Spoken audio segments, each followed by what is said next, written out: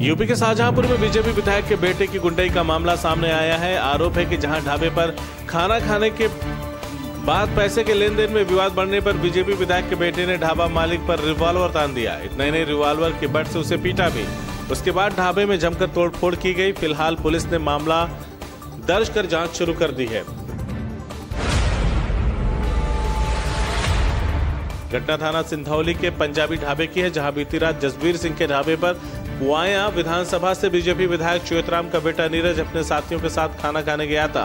ढाबा मालिक के मुताबिक खाना खाने के बाद जब पैसे देने की बारी आई तो पैसे कम दे रहा था, जिसको लेकर उसने विरोध किया। आरोप है कि इसलिए उसने अपने साथियों के साथ ढाबे पर तोड़फोड़ करना शुरू कर दिया। इतना ही नहीं, विधायक के आरोपी बेटे ने रिवॉल्वर निकालकर ढाबा मालिक पर तान दिया।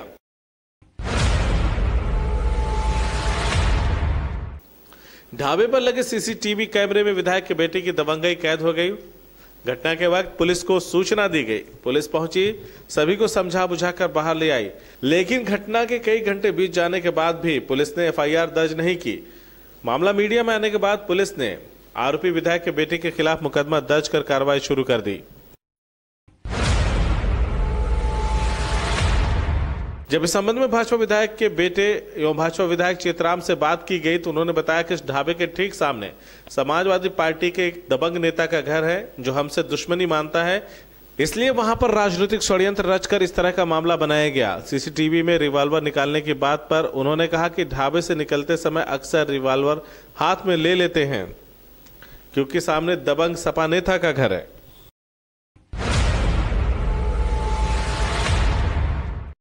आरोप झूठे आरोप लगाना।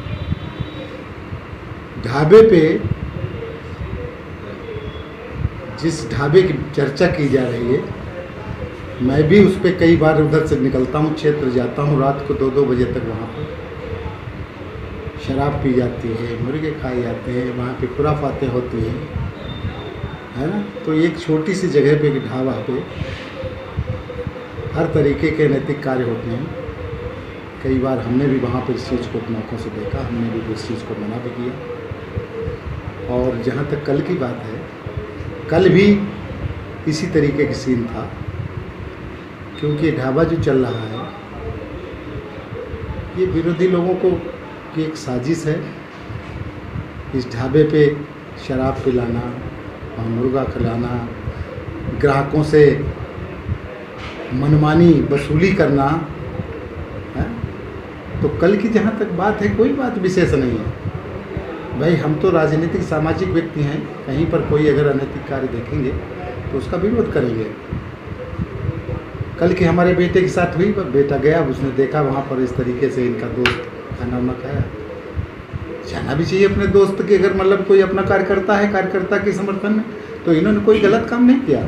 ये गए, वहाँ से पुलिस को कहा कि, भाई, देखिए, इस तरीके से इस ढाबे पे सब काम हो रहे हैं, शराब पिलाई जाए एक गैर कानूनी काम है, ढाबे पे शराब पिलाना।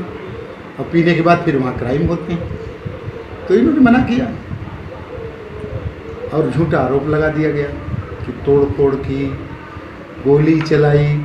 अरे भाई, हम लोग कहीं कोई गलत काम होगा तो लोगों से कहेंगे, अगर कोई दो लोग झगड़ भी गए तो उनको समझौता कराने के प्रयास करें। इसी उद्देश्य से गए। और उस कोई विशेष बात नहीं सब मामला निपट गया था। लेकिन विरोधियों ने इसको हाईलाइट कर आरोप देख लिया झूठा आरोप झूठा ही होता पहले भी झूठा ही आरोप था। कोर्ट ने सब निराधार कर दिया कोर्ट ने जजमेंट दे दिया कि सब झूठा मामला अब ये भी झूठा ही है। जैसे कि हमें भी इस बात पे बहुत ही बुरा लग रहा है कहने में कि जिस तरीके से समाजवादी पार्टी के कुछ दलाल लोग, जिन लोगों के सानिध्य में ढाबा चल रहा है, पिछले कई महीनों से हमारे पास शिकायतें थी, हमारे पिताजी के पास शिकायतें थी, लेकिन हम लोग सीधे सरल स्वभाव के व्यक्ति रहे, जिस कारण हम लोगों ने कोई दिलचस्पी नहीं दिखाई। लेकिन कल ऐसा बाई चांस बाई ऐसा मतलब रहा कि हमारे प्रधान चंदपई हमारे कोटेदार गुड्डू आलमपुर, हमारे क्षेत्र के लोग, जो कि उस ढाबे पे अपना बैठे होंगे या उनसे कोई लड़ाई झगड़ा हुआ होगा। मैं नहीं जानता, मैं सिर्फ़ इतना जानता हूँ कि मैं वहाँ से निकल रहा था, मेरे पास फ़ोन आया। तो मैंने सोचा मैं वहाँ जाके कुछ निपटारा कराऊँ। लेकिन जब मैं वहाँ पहुँचा तो पहुँचते घन वहाँ पे मैंने देखा कि जैसे कि वहाँ पे मैंने आपको पहले ही बताया जिनके सानिध्य में चल रहा था। तो अपनी सुरक्षा बस मैंने रिवॉल्वर निकाला है, मेरा खुद का लाइसेंसी हथियार है। और इसमें अगर मैंने कुछ अनारगल कहीं किया है तो मुझे वो दिखाया जाए, बताया जाए कि कहाँ पे मैंने मिसफायर करी है। जैसे बोल रहे हैं, ढाबा के मैनेजर जो जिनका मैंने अभी देखा है, वो बोल रहे हैं कि ऐसा ऐसा हुआ है मिसफायर किया है तो अगर उनके ढाबे पे कहीं हमें हमें पुलिस पे विश्वास है, पूर्ण विश्वास है। पुलिस पहुँची भी, बाद में पहुँची, उन्होंने मामला सुटाया हम लोगों को हटाया, ठीक है? मैं अपने घर वापस आया, प्रधान जी का भी समझौता कराया।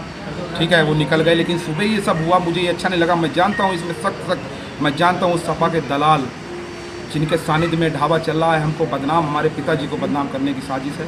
इतने अच्छे चरित्रवान व्यक्ति, इतने अच्छे व्यवहारी व्यक्ति मेरे पिताजी, जो पाँचवीं बार विधायक बने हैं, उनको बदनाम करने की साजिश जो विरोधी कर रहे हैं ना, ये कभी कामयाब नहीं होंगे।